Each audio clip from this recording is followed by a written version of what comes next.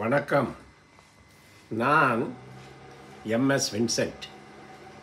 இப்பொழுது பெங்களூரிலிருந்து பேசிக்கொண்டிருக்கின்றேன் இன்றைய தேதி ஒன்று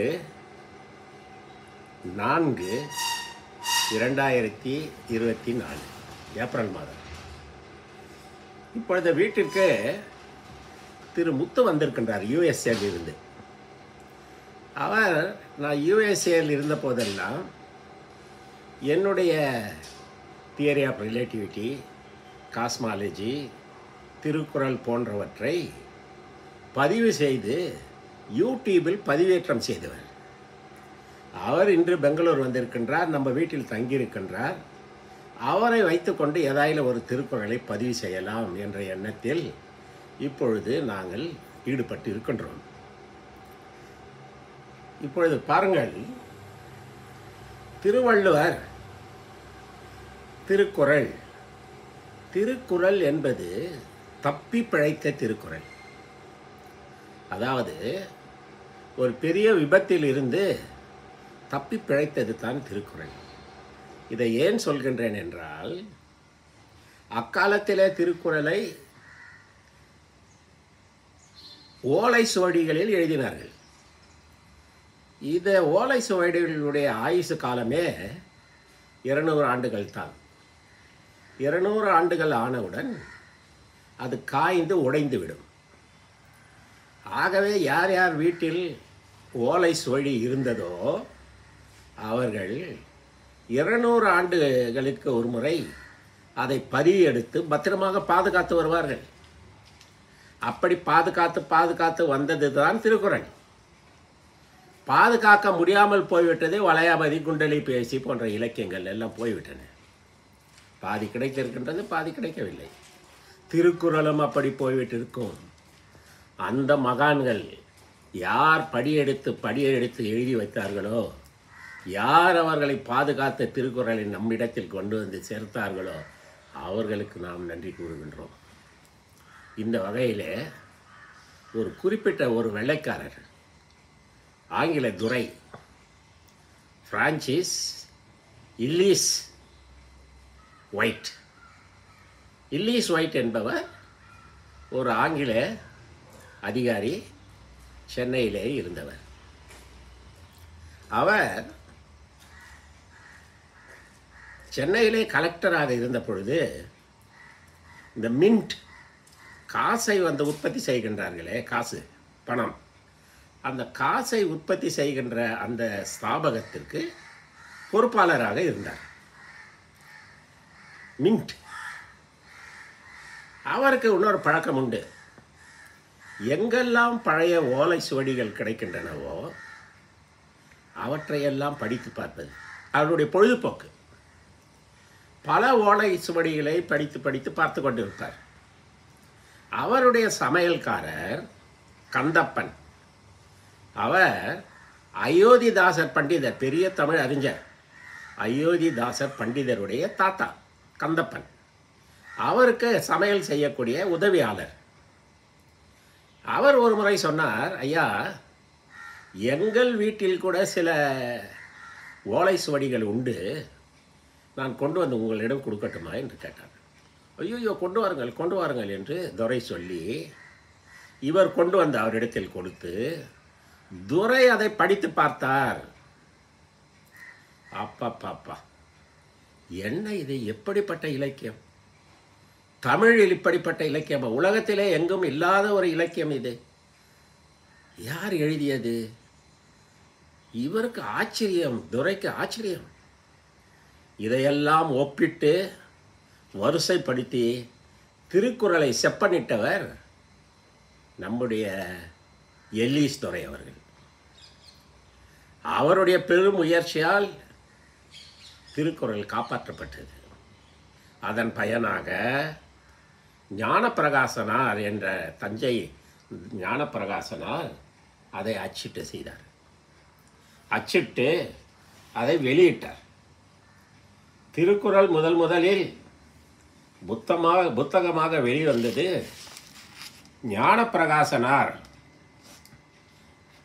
ஆயிரத்தி எட்நூற்றி பனிரெண்டாம் ஆண்டு சிறு புத்தகமாக திருக்குறளை மூலப்பாடம் என்ற பெயரில் வெளியிட்டார். அவர் அதை புத்தகமாக வெளியிடுவதற்கு காரணக்கர்த்தாவாக இருந்தவர் எல்லிஸ் துறை அவர்கள். எல்லிஸ் துறை அவர்கள் செய்த சேவை மகத்தான சேவை. அவர் இந்த மின்ட் என்று பணத்தை அச்சிடுக பணத்தை உற்பத்தி செய்கின்ற ஸ்தாபகத்தின் அதிபதியாக இருந்தார் கலெக்டராக இருந்தார். அவர் திருக்குறளின் மேல் திருவள்ளுவர் மேல் இருந்த பெரும் மதிப்பின் காரணமாக திருவள்ளுவருக்கு பொற்காசுகள் வெளியிட்டார். தங்க காசுகள். அந்த தங்க காசிலே திருவள்ளுவருடைய உருவம். திருவள்ளுவருக்கு என்று உருவம் எதுவும் கிடையாது. இவரே ஒரு உருவத்தை கற்பனை செய்து அதை பொதித்து தங்க காசுகளை வெளியிட்டார். அதில் இரண்டு காசுகள் லண்டன் அருங்காட்சியகத்தில் உள்ளன இரண்டு கல்கத்தா காட்சியகத்தில் உள்ளன. அப்படிப்பட்ட ஒரு சேவையை செய்தவர் கிளீஸ் துறை அவர்கள். இதில் பாருங்கள் அந்த காலத்தில் ஆயிரத்தி எட்நூற்றி பதினெட்டாம் ஆண்டு ஒரு பெரும் தண்ணீர் பஞ்சம் சென்னை முழுதும் வறண்டு விட்டது. தண்ணீரே கிடைக்கவில்லை. அப்பொழுது கிளீஸ் துரை அவர்கள் கிணறு தோண்டுவதற்கு உத்தரவிட்டார். அங்காங்கு கிணறு தோண்டுங்கள் என்று சொல்லி கிணறு தோண்டினார்கள். ஒரு கிணறு ராயப்பேட்டை அம்மன் கோவிலிலே தோண்டினார்கள். துரை பாருங்கள் திருவள்ளுவர் மேல் இருந்த பெரும் மதிப்பினால் அந்த கிணற்றை திருவள்ளுவருக்கு அர்ப்பணம் செய்தார். ஏன்? திருவள்ளுவர் ஒரு அருமையான திருக்குறள். அருமையான திருக்குறளை எழுதி தண்ணீருக்கு மழைக்கு வெள்ளத்திற்கு புனலுக்கு பெரும் மதிப்பை சேர்த்தவர் திருவள்ளுவர். ஆகவே துரை அவர்கள் அதை படித்து இப்படி தண்ணீரை பற்றி புகழ்ந்து எசிக்கின்ற திருவள்ளுவருக்கு இந்த கிணற்றை கிணற்றை நாங்கள் அர்ப்பணம் செய்கின்றோம் என்று சொல்லி அந்த கிணற்றையே அர்ப்பணம் செய்தார். இருபத்தி ஏழு கிணறுகள் தோன்றினார். ஒரு கிணறு ராயப்பேட்டை அம்மன் கோவிலிலே தோண்டப்பட்டது. அதை திருவள்ளுவருக்கு அர்ப்பணம் செய்தார். திருவள்ளுவர் அப்படி என்ன மழையை பற்றி எழுதியிருக்கின்றார்? இவர் ஆச்சரியப்படக்கூடிய வகையில் என்ன? பாருங்கள் திருவள்ளுவர் எழுதியிருக்கின்றார் இரு புனலும் வாய்ந்த மலையும் வரும் புனலும் வல்ல அரணும் நாட்டிற்கு உறுப்பு. எழுநூற்றி முப்பத்தி ஏழு இரு புனலும் புனல் என்றால் தண்ணீர் மழை நீர் எதாயிலும் வைத்துக் கொள்ளலாம். இரு புனல் இரு வகையான தண்ணீர். இந்த உலகத்திற்கு கிடைக்கக்கூடிய தண்ணீர் இரு வகை. பூமியிலிருந்து ஊறி வருகின்ற ஊற்று நீர் ஒரு வகை மேலே மேகத்திலிருந்து மழையாக பொழிகின்றது மற்றொரு வகை. ஒன்று ஊற்று நீர் மற்றொன்று மழை நீர். ஒன்று மேலே இருந்து வருவது மற்றொன்று கீழே இருந்து வருவது. இதைத்தான் திருவள்ளுவர் இருப்புணல் என்று சொல்லுகின்றார். இதுதான் அந்த துறையை மிகவும் கவர்ந்தது. இரு புனலும் வாய்ந்த மலையும் ஒரு நாட்டிற்கு உயரமான மலைகள் தேவை. மலைகள் தான் மழையை அறுவடை செய்து பொழிய செய்கின்றது.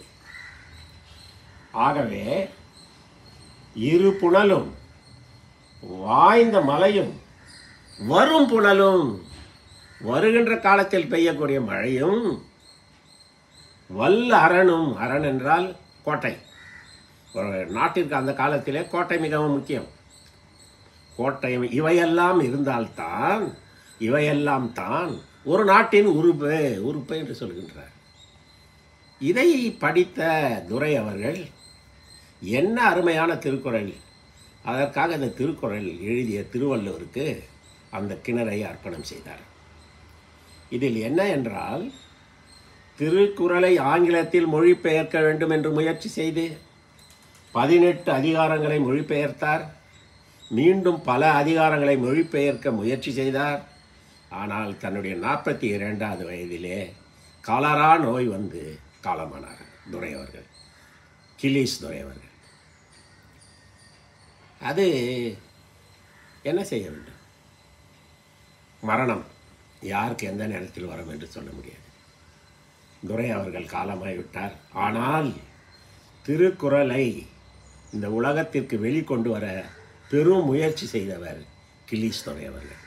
அவரை மறக்கக்கூடாது. அரசாங்கம் பாட நூல்களிலே அவரை பற்றி எழுத வேண்டும்.